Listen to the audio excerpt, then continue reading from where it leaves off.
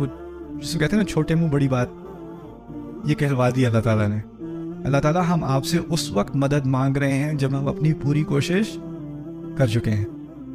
ये बात कही जा रही है। हम तेरी ही इबादत करते हैं और तेरी इबादत करने में बड़ी कोशिश करते हैं और जब अपनी कोशिश की हद तक पहुँच जाते हैं और फिर इस बात का एहसास होता है कि इससे आगे हम खुद कर नहीं सक रहे, तब हम आपकी मदद मांगते हैं। यह क्या रास्ता है अब आप इस चीज़ को कंपेयर करें, इसका तकाबुल करें हमारा जो रवैया है इस्लाम में आज हमारी कौम का अल्लाह ताला से मदद मांगने का जो रवैया है जो आप आम तौर पे देखते हो अपने अंदर अपने दोस्त अहबाब के अंदर फैमिलीज़ के अंदर कल्चर के अंदर क्या देखते हो? बस जी अल्लाह की मदद आ ही नहीं रही क्या कर सकते हैं? देखिए जी बस अल्लाह ने यही लिखा हुआ था। क्या हो सकता है? हाथ पे हाथ पे रख के मदद का इंतज़ार हो रहा है। यही बात होती है ना? वो पुराना किस्सा ही क्रिश्चियंस बहुत यूज़ करते हैं, लेकिन बात सही है। वो कहते हैं, एक सैलाब आ रहा था तो सब शहर से निकल रहे थे, क्योंकि ऐलान आ गया था कि सैलाब आ रहा है। एक साहब ने कहा, नहीं, मेरा रब मेरे लिए काफ़ी है।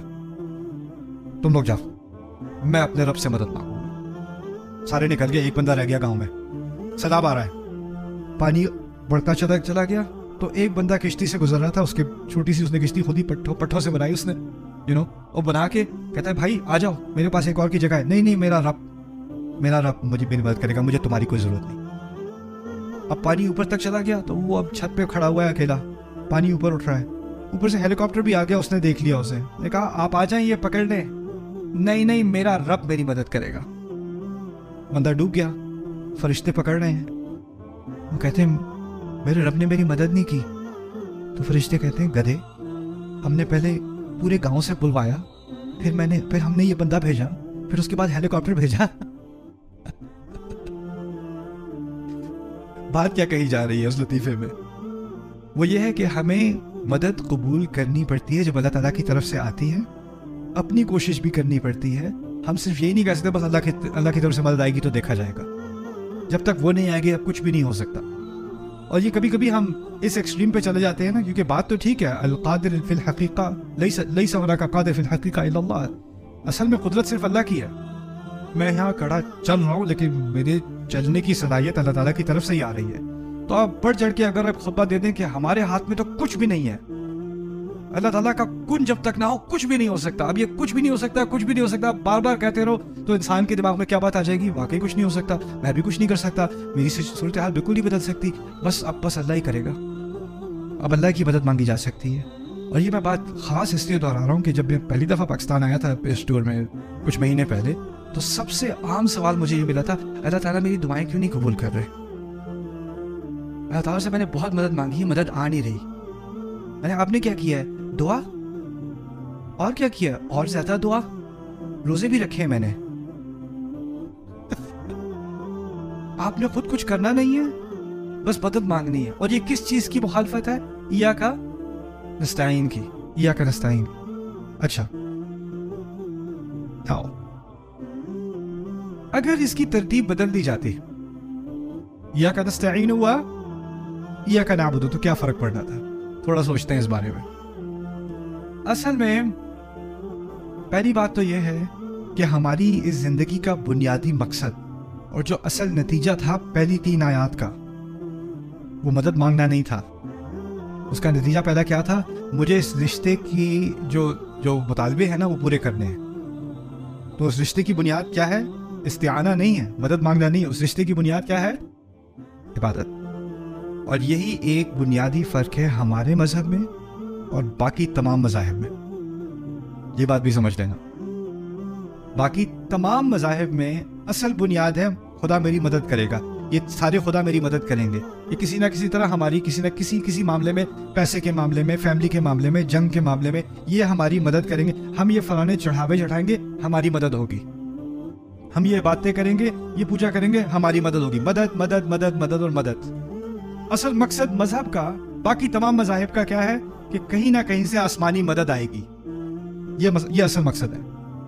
क्यों दुआ कर रहे हैं? क्यों पूजा कर रहे हैं? क्यों जो है चर्च जा रहे हैं? मदद के लिए। और मैं इस बात को गहराई में समझना चाह रहा था कि यह वाकई ऐसा है कि नहीं क्योंकि इस्लाम इन बाकी मजाहब से मुख्तलिफ़ है। इस्लाम ने पहली चीज़ मदद मांगने को नहीं रखा।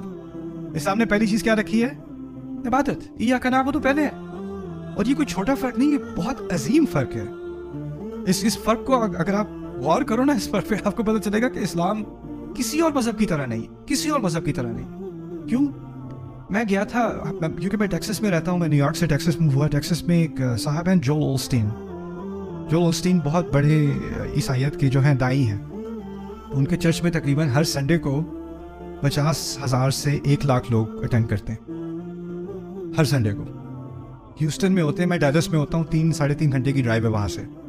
लेकिन कोई यहाँ, अब, अभी से छः सात साल पहले क्रिसमस ईव पे उनका एक क्रिसमस स्पेशल हो रहा था डैलस में। क्रिसमस स्पेशल जिस तरह हमारे यहाँ ईद का खुतबा होता है ना, उनका क्रिसमस स्पेशल अब वो बंदा इतना पॉपुलर कि वो किसी चर्च में जाके कर नहीं सकता क्योंकि इतने लोग आना चाह रहे हैं। तो उसने बुक किया अमेरिकन एयरलाइन स्टेडियम जहाँ पे बास्केटबॉल गेम्स और बड़े बड़े मैचेस वगैरह होते हैं ना, उसने पूरा स्टेडियम बुक किया। डैलस का। मैंने भी टिकट लिया, मैं भी गया देखने, क्या होता है। मैं भी देखूँ क्या करते क्या है ये लोग? अब मैं वहाँ गया, तीन घंटे का उसका प्रोग्राम था। और उसने अपनी सास को भी बुलाया हुआ था इन लाही व इन राजियान बीवी भी उसके साथ थी, भाई भी उसके साथ था। और बड़े मज़े की बातें की उन्होंने। लेकिन पूरी बात का तो वो खुलासा भी आपको नहीं बताऊँगा, एक बात बताऊँगा। वादे क्या कर रहा था? इस साल तुम्हारी सारी ख्वाहिशें जीसस पूरी कर देगा। क्या चाहिए तुम्हें? वो जो जिस डिवोर्स में तुम फंसे हुए वो केस इस साल खत्म हो जाएगा। वो जो तुम्हें जॉब नहीं मिल रही ना जो प्रमोशन नहीं मिल रही वो इस साल तुम्हें मिल जाएगी वो एक एक चीज़ को लिस्ट करके ना इस साल जीसस ने फैसला किया है कि तुम्हारी ये ये ख्वाहिशें पूरी हो जाएँगी। और हज़ारों लोग बैठे मैं ऊपर ब्लीच सबसे चीप टिकट दिया था मेरे ऊपर ऊपर कोने में। मेरे इनके जो सारे बैठे ना वो कह रहे हैं यस सर यप यस वो क्या सेल कर रहा है उन लोगों को? कि तुम्हारी सारी दुआएँ क्या होंगी? पूरी हो जाएँगी। सारी ख्वाहिशें सारी दुआएँ कबूल हो जाएँगी। एक दफ़ा उसने तीन घंटे में एक दफ़ा इस बात का ज़िक्र नहीं किया कि हमारी ज़िंदगी का मकसद क्या है। इस खुदा की, जिस खुदा को हम मानते हैं, उसकी इबादत। ना ना ना ना ना। वो तो ठीक है, बस खुदा से मांगो मांगो और मांगो और वो देगा और वो देगा और वो देगा। अब ठीक है, अल्लाह ताला से मांगना हमारे दीन में, अल्लाह ताला से दुआ करना, अल्लाह ताला से मुतालबा करना हमारे दीन का हिस्सा है कि नहीं? हाँ लेकिन वो या का नस्तीन के तहत है या का नाबुदू के तहत है। या का नाबुदू के तहत है यानी आप पहला पहले अपना काम करो। और ईया का नस्ताइन में भी दो हिस्से हैं। मैंने दो हिस्से समझाए थे ना? पहला हिस्सा क्या था? अपनी कोशिश और फिर। और ये जो कोशिश और जो जो आप मुतालबा कर रहे हो, वो इबादत के तहत है। यानी मैं अल्लाह ताला की इबादत करते हुए, अब मेरी ज़िंदगी के मकसद और उसके जो गोल्स हैं, जो मेरे अहदाफ हैं, जिन चीज़ों के पीछे मैं भाग रहा हूँ, क्योंकि मैं अल्लाह ताला का अब्द बनना चाह रहा हूँ ज़्यादा से ज़्यादा, अब उन गोल्स पे भी असर पड़ा। जिन चीज़ों के पीछे मैं पहले भाग रहा था या का नाबूद से पहले जिन चीज़ों के पीछे भाग रहा था, अब उन चीज़ों के पीछे नहीं भाग रहा किसी और चीज़ की तरफ़ दौड़ रहा हूँ। अब उस चीज़ की तरफ़ दौड़ रहा हूँ तो मुझे मदद की ज़रूरत है, अब मैं अल्लाह ताला से मदद मांगूँगा। तो मेरी दुआओं की असल नेचर ही बदल गई पूरी तरह से। और अब हम इस मोड पर आ गए हैं मुसलमान, कुरान से इतने दूर, कि अब हमने अपना अल्लाह ताला से जो रिश्ता बनाया हुआ ना इस वक्त, अक्सरियत ने हमारी, उसमें और जो ईसाई ने जीसस के साथ रिश्ता बनाया हुआ है जो हिंदू ने अपने मंदिर में रिश्ता बनाया हुआ अपने खुदाओं से, उसमें तकरीबन कोई फ़र्क नहीं रहा।